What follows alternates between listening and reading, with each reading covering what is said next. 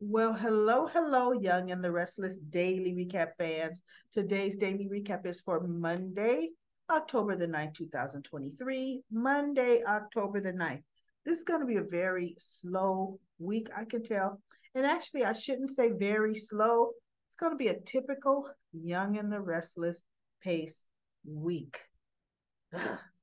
anyway, we have um, Tucker calling Audra over and he's telling her pretty much demanded her text her. He wanted her to rekindle the flame between her and kyle. And she's like i want to know why. He goes it's just a part of the plan. Make sure you do it. You want to be in the top position running jabot. You're going to get it done. So she goes in her mind okay because all he had to say is top position running jabot. You want to run jabot.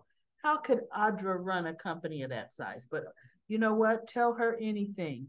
Her ambition and drive will just get the better of her, right? He goes, uh, told her, well, look, you know, pretty much you got to go because I got to get ready. We are crashing a wedding because she goes, how am I supposed to get by? Security. You know, I'm not on the invite list. She go, he goes, you're resourceful. So next thing we know, we see Audra showing up, right? Um, Jack, I guess she texts Kyle. No, I don't think so. I think she just showed up. Jack uh, and Diane, they say their vows. Kyle officiates. You know, Jack actually genuinely looks very, very happy with Diane. And, you know, and, and they've kept her character so squeaky clean for this whole year and a half. It's interesting to me because we all know Diane Jenkins. This is not her. I'm really waiting for the tr- her true self to come out. You know, she's loving this. She's loving. She got right back where she wanted, but yet there's gonna be something else. There's going to be. I just feel it, right?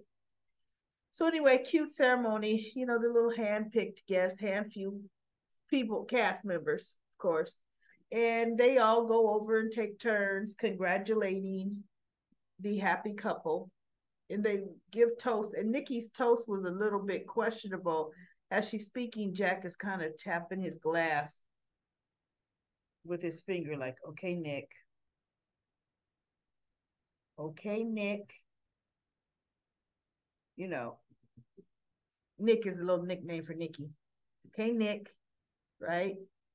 So it wasn't that it wasn't too bad, but it wasn't like really friendly. I mean, it wasn't really happy. It was kind of ooh, ominous a bit, whatever. And Diana's just looking at her like, but guess who they show? And for the life of me, I couldn't figure out where what soap was was she on I know I liked her. I know she could pull some tears, but I'm thinking, you know what? She should be Abby Newman, right? She should be Abby because I know the person playing Abby now. I saw her on an interview. She and her husband are having a house built from the ground up in Tennessee, and she's moving there. Now, I don't see how she's going to still be able to work on The Young and the Restless even though they don't have Abby in all scenes, but they have her enough. The character is established enough, and I can't see her doing that plane ride constantly. She's got two small girls, and that's why they're building the house and wanted to live there. The huge acres of land, right? And the house is almost done. So it's going to be interesting. And I thought they should have saved her to play Abby. So then I did some digging on the internet. She was a previous version of Abby. No wonder. I'm thinking she remind huh, who was she? And she played Kiki Jerome on General Hospital. I liked Kiki. I really liked Kiki. So you could tell the actress Nikki was so comfortable with her. Now she took her to the wedding. Why would you take your assistant to the wedding? I don't know well, this is Newman Media, but they weren't covering a piece on the wedding. So she's just everybody that walked up to Jack and and Diane, she was saying, "Ooh, that's Devon Hamilton. He's the the I mean Devon Winters. He is the Winters and Hamilton Winters. Ooh, ooh, that's I mean everybody that walked up, she gave a ooh, that's Nate Hastings. He's related to the family. He's, you know, COO at Newman at Newman Enterprises right now. Uh, you know, she just, but she just ran down everybody. Oh, Traci, she's got such a good heart. She said, she goes, no, I know who she is. She is a talented author because the assistant is a fan of Traci's writing.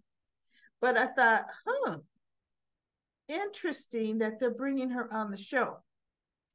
We have who's available, everybody. Adam's available she's not Adam's type. Billy is available, but I don't know if they're gonna have his character wait for the actress Chelsea to come off of maternity leave. Kyle, nah, mm-mm. she won't go for Kyle because uh, Nikki ain't gonna let her. Kyle is a no go. So it's between Adam. It's between um Billy.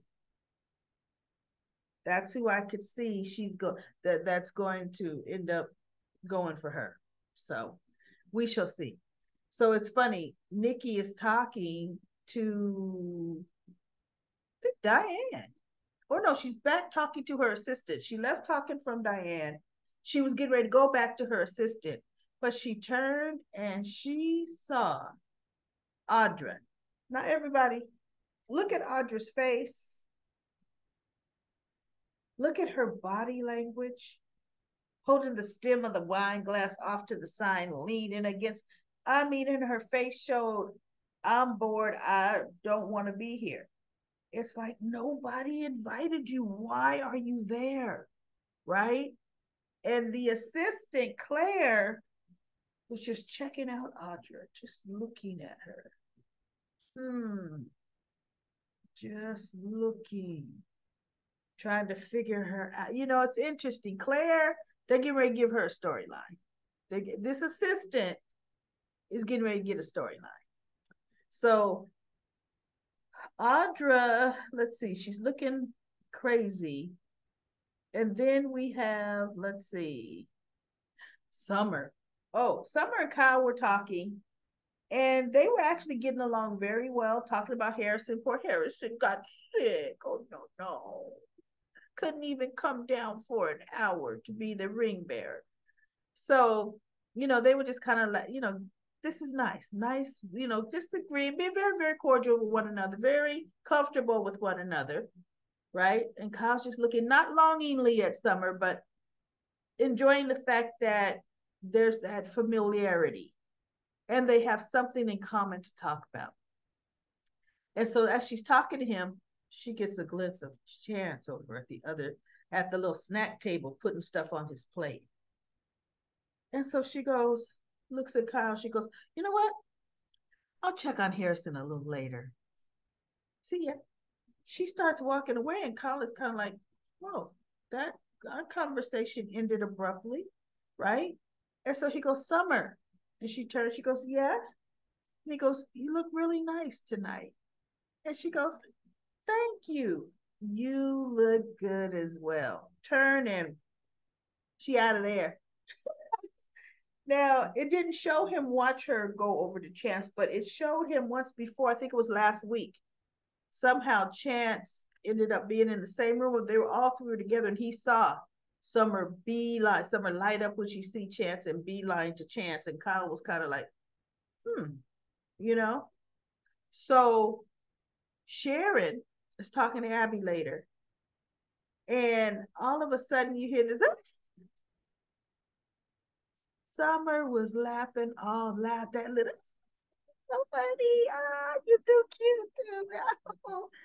and Sharon is kind of distracted because Abby's like, how are you and Chance? And Sharon's like, fine, fine. And then Summer's laughing. Sharon's looking like, what is going on? So Sharon's kind of like, you know, excuse me, Abby.